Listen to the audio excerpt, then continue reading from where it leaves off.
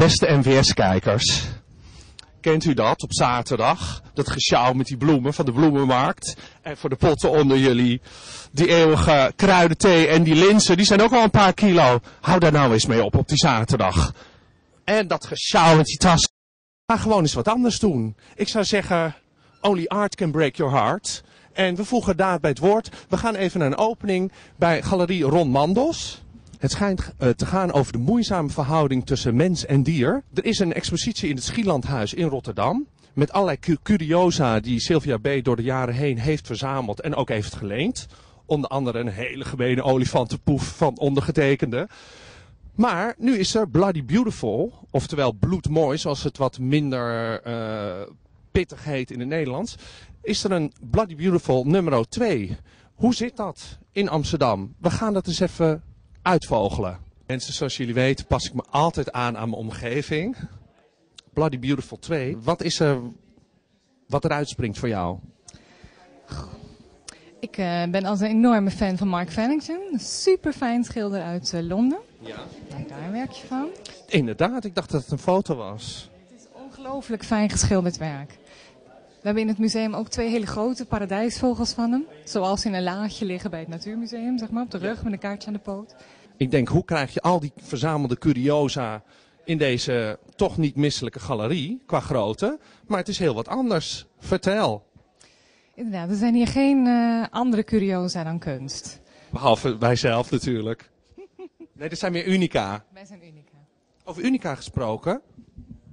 Jij hebt een nieuwe handschoen. Nummer 9 in de lijn. De Harry Model. Ja. Ja. Oftewel, de bear, de bear version. Ja. Bijna untamed, uncivilized, unshaved. waren ook namen die door mijn hoofd speelden, maar gewoon Harry. Ik zag ook dat uh, een van mijn uh, uh, voorheen modelletjes, nog steeds wel hoor, maar nu ook mijn assistent, die hangt hier ook aan de muur. Van Erwin O. Ik bedoel Bob. Je weet wel, Lips Inc. heten we eigenlijk met z'n tweeën.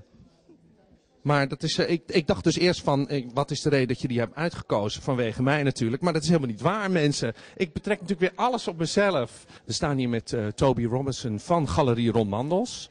Is dit jouw favoriete werk? Want dat was eigenlijk mijn volgende vraag. Ja, dit werk is van Martin Healy. En is een Ierse kunstenaar. En is heel erg geïnteresseerd in mythologieën en waar mensen eigenlijk in geloven. En uh, dit soort, dit, deze valken, roofvogels, die zijn natuurlijk heel mythologische beesten. En uh, ik vind dat ze heel mooi, op een hele mooie manier gefotografeerd zijn. Heel, uh, Hij zoomt meteen in op je nazen. Ja. ja.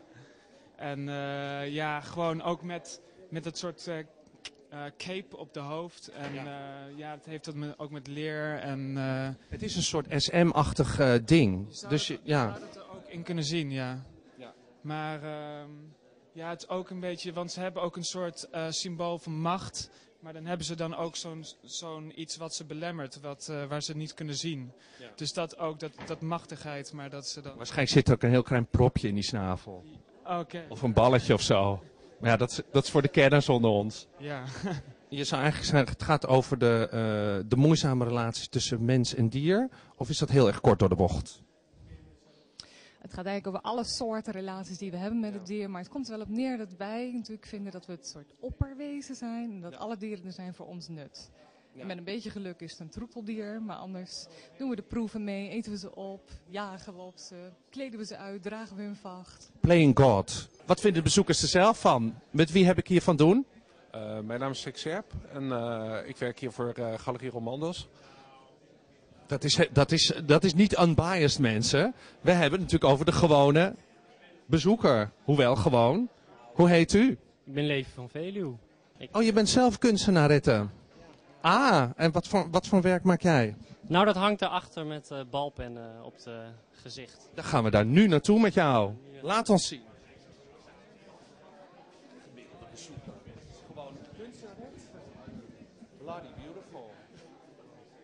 Computy, computy, uh, maar een gewone Big Pen, daar zijn we ook niet uh, vies van. Um, wij kennen jou van. Van, uh, nou, deze foto's of van de En poster. Wou net zeggen, door, door de ganse stad heeft het gehangen. Stad. Ik was een soort spam, was ik, hè? Van de, ja, ja. Heeft dat je geen windeieren gelegd? Eh, nee, heeft me wel een hele hoop goed gedaan. Aan het werk voor een nieuwe serie en eh, hopelijk, ja, eind februari, begin maart komt dat hier te hangen, dus. Word je al eh, met Jan Fabre vergeleken vanwege jouw big aan- aanhangigheid? Jan Faber heb ik een hele hoop voorbij zien komen, maar dat is voornamelijk om de big. Maar ehm, bij mij heet het geen big en het heeft ook niks met het merk te maken. Dus. En ook geen kever straks bij jou. Nee, nee, nee, nee, nee. En het is ook alweer over. Dit is gewoon één project en eh, ja. We wachten op de platina eh travestietenfoto's van jou. Februari, eh, februari zullen die niet te zien zijn, maar er zal wel een hele hoop andere mooie werken te zien zijn. we kunnen niet wachten mensen. Nee. We hebben hier een première. Succes. Ja, dank Sylvia, we staan hier bij volgens mij nieuw werk van jou. Ja, Le Petit Monde, de kinderwereld of de wereld in het klein. Ik vond het wel mooi om in elk geval ook te laten zien tussen al deze werken die over dieren gaan. Dat wij in feite natuurlijk ook dieren zijn, hè? Want onder dat hele dunne laagje beschaving. Het zijn een soort eh, Jip en Janneke Go Mozart from Hell. Geen opening zonder een celeb in de house. En alleen is ook maar alleen. Dus ik heb er nog één gevonden dan mezelf. Hè? Joshua van... Project Catwalk. En hoe? We zaten allebei in een hele gemene ordinaire show. Ik in Fabs en jij in dat eh, catwalk. Ik moet zeggen, ik was trots op je. Dankjewel. Dat is leuk om te horen. Eh, ja, ik heb een beetje een soort van bubbel gezeten van het programma. Dus op zich, nu komen alle reacties los. En het is gewoon leuk om te zien hoeveel mensen er hebben gekeken. En En eh, je hebt er volgens mij best wel wat aan, niet? ja, ehm, Het is niet dat je alleen maar, zoals bij Fabs, met je tieten in je kont hoeft te schudden. Je moest toch ook nog kunnen naaien? ja je, moet, je moest wat kunnen en dat heb ik ook wel laten zien. En mensen in de industrie kennen nu, weten nu wie ik ben. Dus eh, het kan wel deuren gaan openen. Ik moet nu alleen gaan bekijken hoe het mijn deur, welke deur ik geopend wil hebben. En ik moet, ik moet ook zeggen, in, eh, in het defense van dat programma, is dat je niet al te zotte dingen hebt moeten doen. Op, op, ja, op, het begon een beetje eh, eng van een maak van vuilnis eh, een jurk. Ik denk, oh, waar gaat dat naartoe? Maar godzijdank. Dus eh, nee, ze hebben het er redelijk goed aangepakt. Eh, het werd, er werden wel serieuze dingen, serieuze pogingen tot serieuze kleding gemaakt. Dus Ja, en dat je dus een eigen, een, een eigen soort mini-collectie hebt neer kunnen zetten. Ben je daar gewoon te, ga je daarmee de boer mee op? Hoe, eh, what's next for you? ik wil nu, ehm, ik wil graag het VIA gaan doen. Omdat ik, ik wil gewoon, Wat is dat? het is Fashion Institute Arnhem, dat is een mastersopleiding. En dat helpt je gewoon om meer eh, concreet collecties te maken. En ook gewoon, leert je netwerken, het leert je veel beter, het maakt je veel meer klaar voor de echte mode. En hij voegt de daad bij het woord mensen, want hij staat niet alleen op een naar modefeestje. Nee, hij komt hier ook met zijn verschijning de Koen steunen. Wat vind je ervan hier? Ik vind het heel mooi. Een vriend van mij hangt hier ook, vandaar dat ik er ook ben. Wie is dat? Koen Hauser, die hier in het raam hangt. Koen, die gaan we zo even filmen. Oh, dat is het enige werk inderdaad waar ik... Ik heb dat ook in het Schielandhuis zien hangen. Een aanrijder.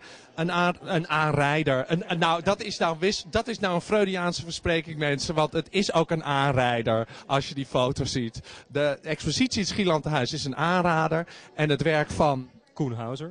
is een aanrijder.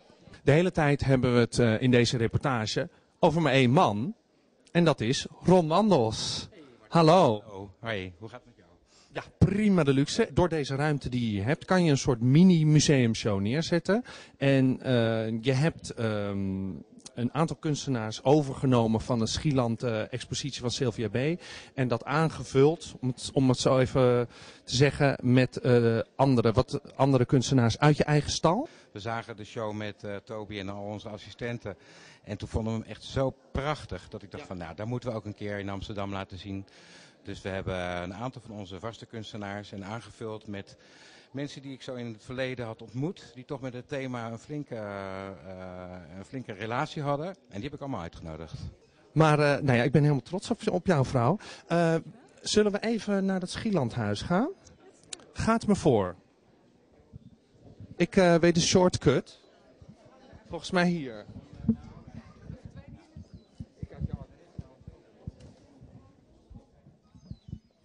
Godverdomme weer, weer de, telefoon.